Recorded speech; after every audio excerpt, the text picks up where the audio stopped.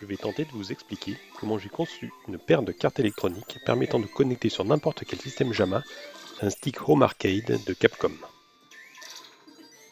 Avant la pratique, un peu de théorie sur les principes qui vont s'appliquer ici, avec de beaux schémas comme vous n'en verrez sans doute pas tous les jours. Sur un système d'arcade JAMA, le panneau de contrôle est relié à la carte de jeu par un faisceau de fils. Il y a en gros un fil par bouton qui va du connecteur JAMA au panneau de contrôle. Pour jouer sur sa télé dans son salon, on a donc besoin d'un câble d'environ 25 fils. Et c'est sur le nombre de fils et la longueur du câble qu'on va travailler ici. Courage L'idée de base est de mettre en place un système capable de lire l'état des boutons du panneau de contrôle, de l'encoder pour pouvoir le transmettre sur un nombre réduit de fils et sur longue distance, puis de le décoder et de l'appliquer sur la carte JAMA.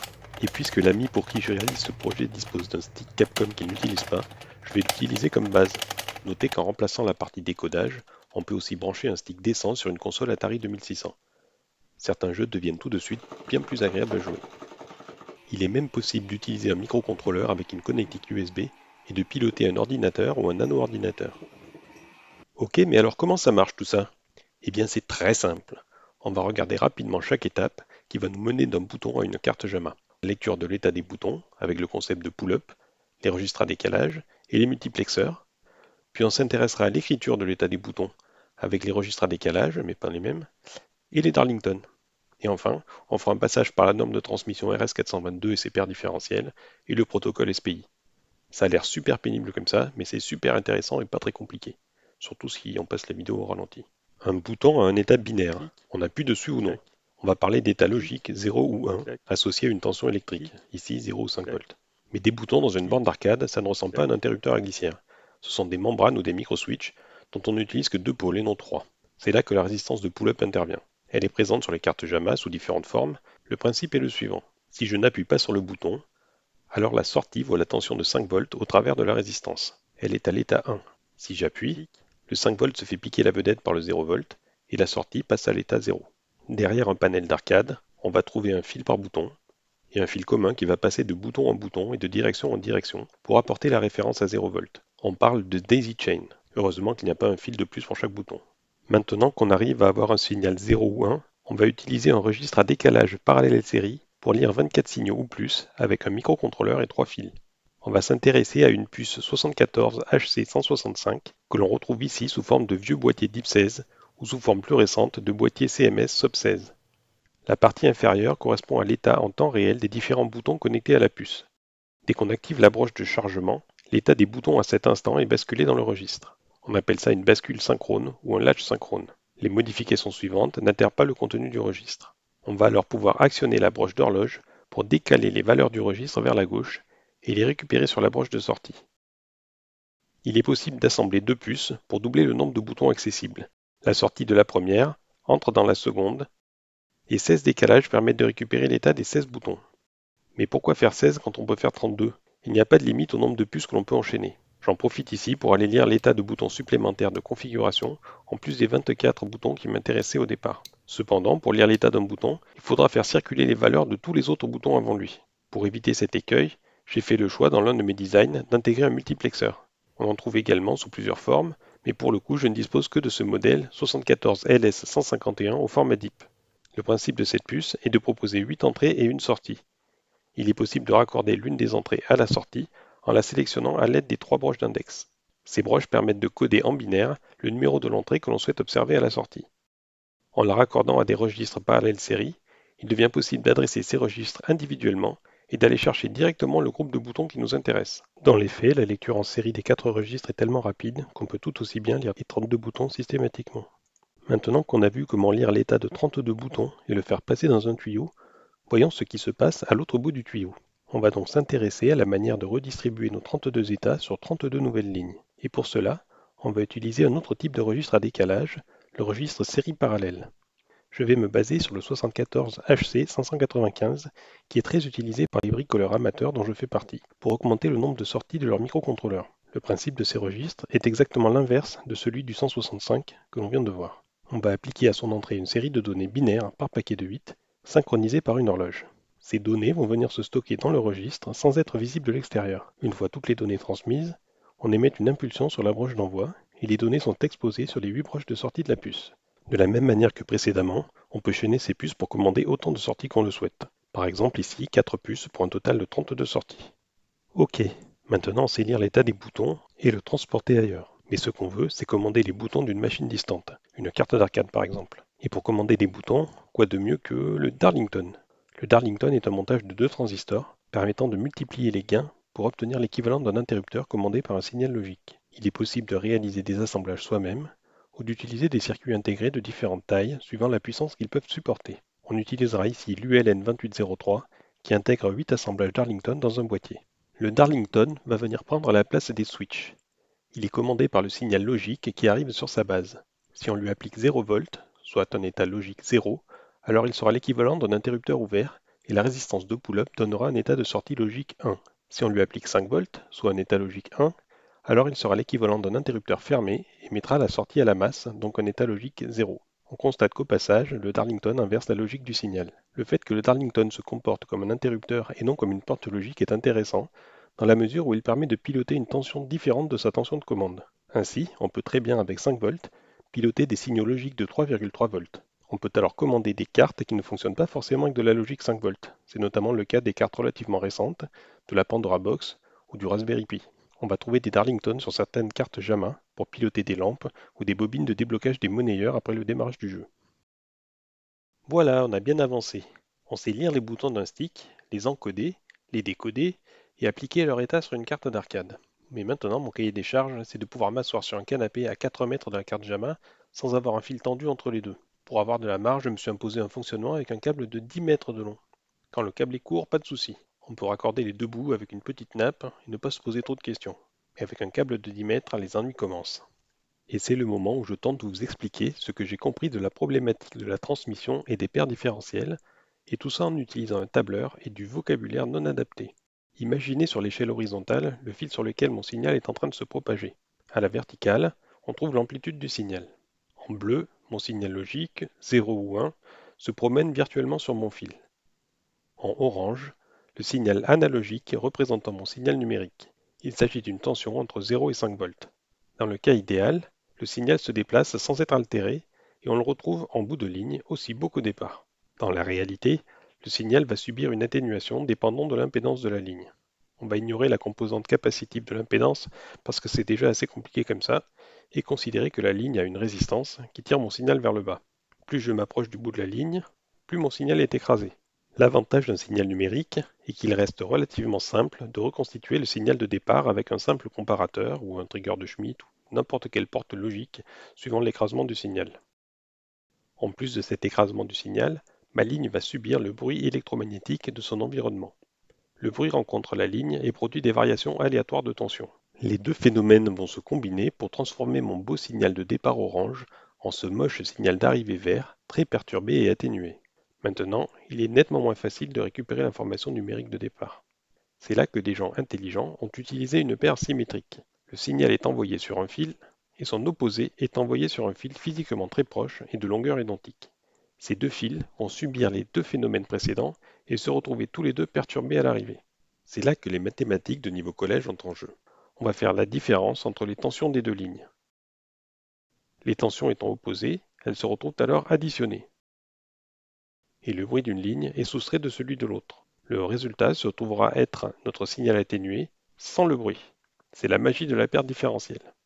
Au passage, c'est le principe de la transmission sur un câble USB jusqu'à la version 2.0. Il se trouve que la puce MAX 485 permet de transformer très facilement un signal logique en une paire de signaux différentiels et permet inversement de reconstituer un signal logique à partir d'une paire différentielle. En en mettant un sur mon canapé et un sur ma carte d'arcade, je vais régler mon problème de longueur de câble. Pour orchestrer ces lectures, transferts et écritures, j'utilise un microcontrôleur, en l'occurrence un Tiny 85 de chez Atmel. Il a juste le bon nombre de pattes pour l'opération. Comme beaucoup de microcontrôleurs, il gère matériellement les transferts de données via le protocole SPI. Sans trop entrer dans les détails, ce protocole permet de lire et écrire sur une ligne de données en utilisant une ligne d'horloge pour rythmer la communication.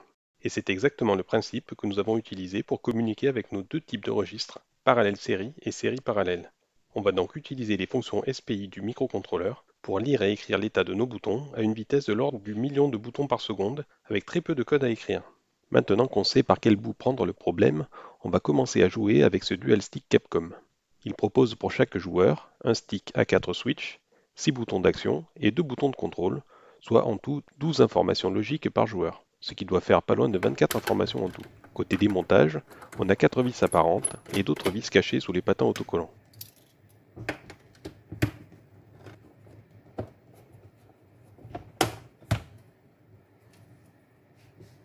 On voit ici l'antenne Wi-Fi qui se promène librement dans le boîtier. On observe à l'intérieur deux cartes. Celle-ci est celle qui gère les entrées. Elle est connectée à la seconde par ce qui ressemble, d'après le nom des broches, à un double connecteur USB. Ces deux puces sont des puces USB dédiées à l'encodage de 12 entrées numériques chacune. En bricolant un peu, on pourrait même les raccorder directement à un ordinateur. La seconde carte est un nano-ordinateur qui reçoit l'état des entrées via deux connecteurs USB. L'idée est de sortir ces deux cartes et les remplacer par notre propre carte. Pour que la modification soit réversible, notre carte devra disposer des mêmes connecteurs pour les sticks et les boutons que ceux de la carte d'origine. Au boulot Parce que j'aime faire les choses à l'envers, j'ai commencé à travailler sur le design des cartes. Ça m'a au moins permis de déterminer les puces que je vais utiliser par la suite. Je vais quand même réaliser une carte prototype à base de plaques à trous et l'équivalent de ces puces au format DIP. Je vais aussi faire de la récup sur d'anciens proto. Voilà une carte basique qui lie l'état de 8 boutons depuis un connecteur similaire à celui du stick Capcom. Une puce 165 suffirait pour lire l'état des 8 boutons, mais je vais en utiliser deux qui vont lire 4 entrées chacune, pour tester le chaînage de deux puces. La carte initiale intégrait ces résistances de pull-up directement dans les puces de conversion USB, Évidemment, j'ai oublié de les intégrer dans mon schéma et je suis bon pour aller les rajouter sur ma carte déjà assemblée. Et quoi de plus pratique que des résistances CMS minuscules pour aller se loger entre deux pistes?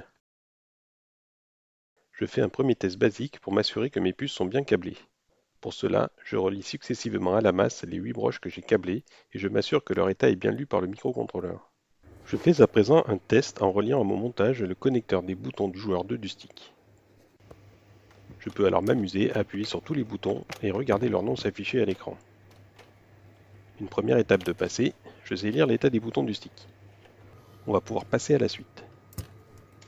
Je vais à présent intégrer les puces MAX 485 pour faire le transfert de données carte à carte. Je teste les puces DIP que j'avais déjà en stock, mais pour cela, j'ai créé des scénarios de test dans l'appli du Mini Pro. Mes puces ne s'en sortent pas très bien. J'ai acheté une dizaine de puces identiques au format CMS. Avec aisance, je les monte sur un support mécanique pour les tester à leur tour. Clic. Avec elle, tout se passe bien. J'ai failli douter de moi. Et voilà donc mes puces soudées sur des adaptateurs DIP pour la suite des opérations. J'ai décidé d'utiliser un câble Ethernet pour transporter mes signaux. Je monte donc un connecteur RJ45 sur ma carte. Puis je monte une autre carte proto qui serait censée se brancher sur la carte JAMA et je relie les deux avec un câble court. Je câble pour l'instant un seul des deux registres 595 pour tester, et j'ai une LED qui s'allume pour rien. Je ne me laisse pas démonter et je câble le second 595. Comme ça, j'ai deux LED qui s'allument pour rien au lieu d'une. Avec mon oscillo, j'observe les signaux émis sur mon canal SPI. Je vois bien que chacun des 165 m'envoie 3 valeurs à 1 alors que j'en attends 4.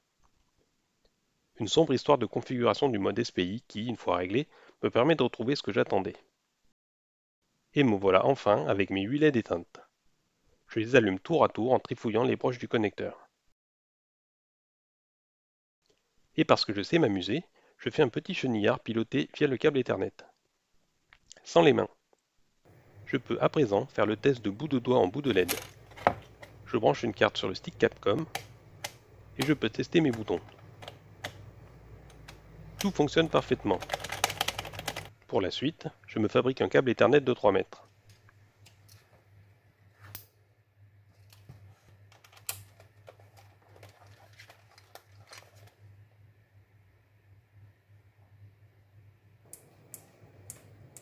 Vu que ça marche toujours, je passe à un câble de 10 mètres. Et ça marche encore, le concept est validé. Je dois maintenant vérifier les cotes de la carte qui ira se loger dans le stick Capcom j'utilise un appareil de haute technologie qu'on appelle une imprimante. J'imprime la carte à l'échelle, je la découpe, et je peux vérifier les deux mesures qui m'intéressent. Je commence par vérifier la modélisation du connecteur Ethernet que j'ai dû dessiner moi-même dans le logiciel de conception de circuit. Puis je fais des trous dans la carte en papier avant d'aller la fixer solidement dans l'enceinte du stick. Et c'est tout bon, je peux commander les cartes. Quelques semaines plus tard, les cartes arrivent d'un long périple. Voici la petite carte qui ira se loger dans le boîtier. Ça donne toujours l'impression d'être plus grand lors de la conception. Je me suis loupé sur la taille des empreintes des diodes de protection. C'est vraiment trop petit. Puis c'est parti pour la soudure des composants. Je commence par les condensateurs. Un peu difficile au début, mais je perfectionne ma technique petit à petit. Puis je soude des puces CMS. L'idée est de placer les composants par ordre de hauteur croissante pour qu'ils gênent le moins possible la pose des suivants.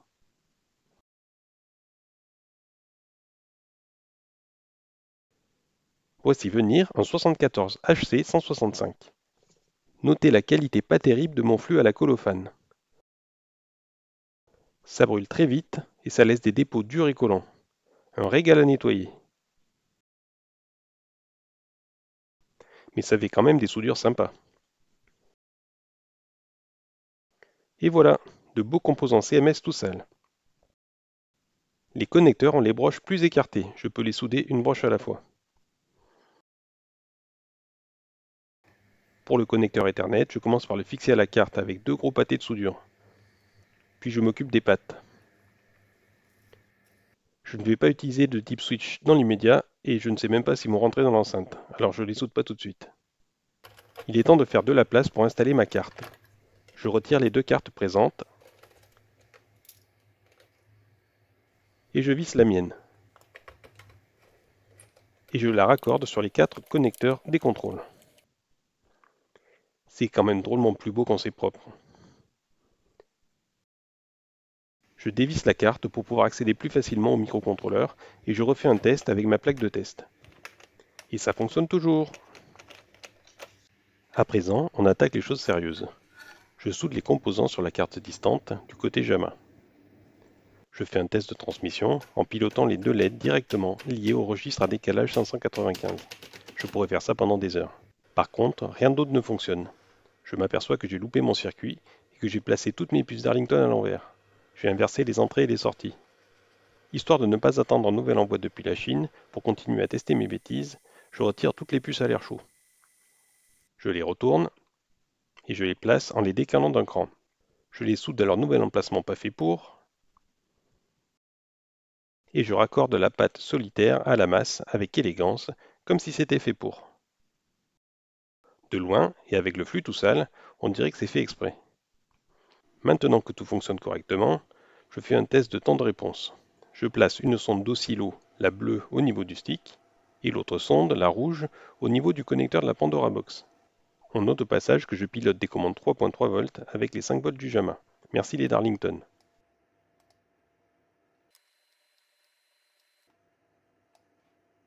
Je mesure un temps de réponse variable autour des 200 microsecondes. Quelques semaines plus tard, au revoir la carte moche avec ses puces à l'envers, et bonjour la jolie carte avec les puces à l'endroit. J'en ai profité pour raccourcir la partie où le connecteur JAMA vient se raccorder. L'ancienne carte était un peu trop large. Maintenant, tout rentre parfaitement. Le point indiquant la direction des puces Darlington a changé de côté. Les puces sont maintenant à l'endroit. Au dos, j'ai agrandi les empreintes des diodes de protection. J'en ai profité pour refaire les pistes d'alimentation avec des vias plus costauds et un dessin plus joli. Maintenant, les diodes ont de la place. Pour les petits composants CMS, j'utilise un magnifique album photo acheté pour vraiment pas très cher dans un vide-grenier. Ces résistances vont alimenter les LED du connecteur Ethernet, comme un vrai. Les LED, c'est plus fragile. Pour vérifier leur sens et s'assurer que je ne les ai pas détruites en essayant de les souder, je peux utiliser un multimètre en mode diode. Il injecte un courant contrôlé qui permet d'allumer les LED sans les brûler. Et on est bon pour les CMS, tout est dans le bon sens. Voilà les connecteurs en place, plus qu'à les connecter.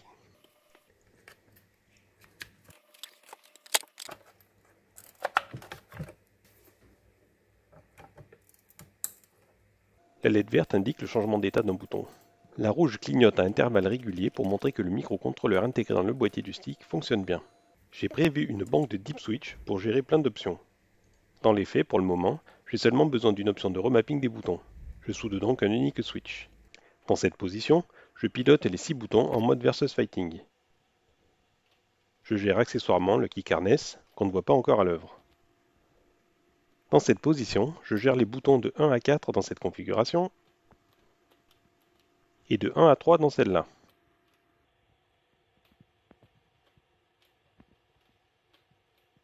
Pour l'installation finale, je fais un nœud avec le câble autour du montant du stick pour éviter qu'il ne s'arrache. Je visse la carte en place, je raccorde le câble, je fixe le switch à l'arrière du stick et je referme pour tester. Puis je me fais une petite partie de Metaslug pour vérifier que tout fonctionne. Je fais ici un test de sous-alimentation en descendant aussi bas que possible mon alimentation.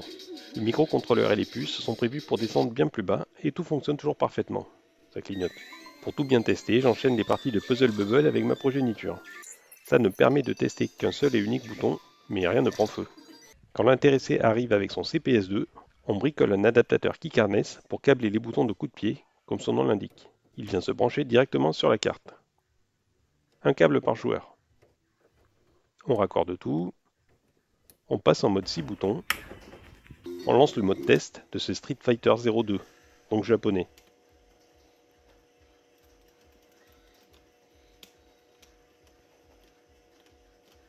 Et tout marche à la perfection. Puis c'est le moment de la démo surexposée avec des gens de dos devant l'écran.